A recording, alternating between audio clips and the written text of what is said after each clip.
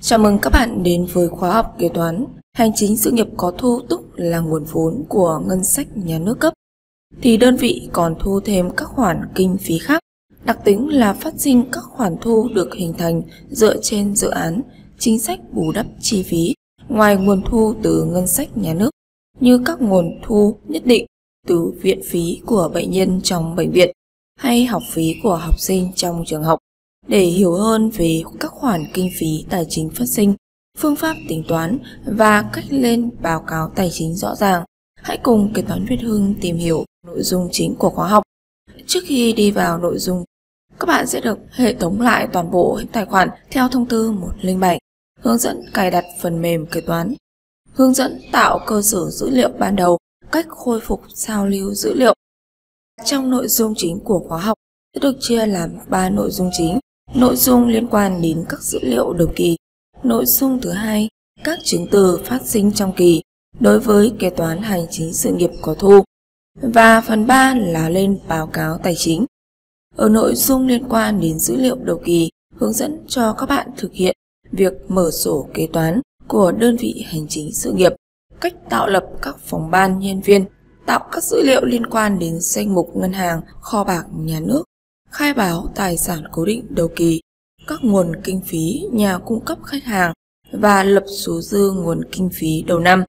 Hệ thống để lên được bảng cân đối tài khoản đầu năm và giải thích ý nghĩa các chỉ số trên số dư đầu năm của đơn vị hành chính sự nghiệp có thu. Nội dung thứ hai liên quan đến các chứng từ phát sinh trong kỳ, hướng dẫn cho các bạn thực hiện nhập dự toán, nhập kinh phí trong năm tài chính quy trình các hồ sơ liên quan đến giấy rút tiền, hướng dẫn các nội dung liên quan đến thanh toán, hồ sơ về lương thanh toán tiền lương và rút kinh phí chuyển khoản cho nhà cung cấp, phát sinh các mua sắm lên báo cáo đối chiếu với kho bạc, thực hiện mua ký tăng tài sản và đối chiếu theo dõi tài sản cố định cũng như thanh lý tài sản liên quan đến hồ sơ thanh lý các nội dung liên quan đến hồ sơ rút kinh phí tại kho bạc và chuẩn bị hồ sơ rút dự toán rút kinh phí, lập bảng đối chiếu dự toán kinh phí ngân sách, cách xây dựng dự toán ngân sách và hướng dẫn cách kê khai lên báo cáo thuế giá trị gia tăng nếu có và cách đối chiếu các khoản thuế giá trị gia tăng, xử lý các vấn đề liên quan đến thuế thu nhập cá nhân, lập tờ khai quyết toán. Nội dung thứ ba là lên báo cáo tài chính hướng dẫn cho các bạn thực hiện lập và nộp các báo cáo tài chính, cách đọc báo cáo tài chính, báo cáo quyết toán và báo cáo đối chiếu kho bạc, cách khóa sổ và chuyển số dư sang năm tới.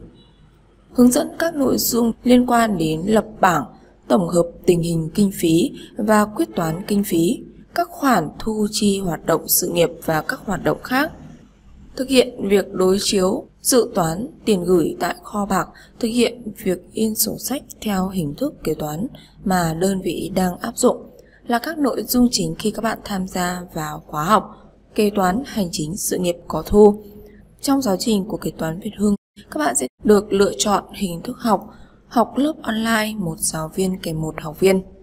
Và toàn bộ các hóa đơn chứng từ các bạn sẽ được học trên giáo trình của kế toán Việt Hưng, trên trang web kế toán việt hưng.com và tìm kiếm đến khóa học, hành chính, sự nghiệp hoặc các bạn có thể lựa chọn học trên chính chứng từ của đơn vị mà các bạn đang làm việc. Kế toán Việt Hưng hy vọng sẽ được chia sẻ những kiến thức và kinh nghiệm cho các bạn ngay từ lúc này. Hãy đăng ký nhận tư vấn lộ trình khóa học bằng cách liên hệ đến các số hotline của trung tâm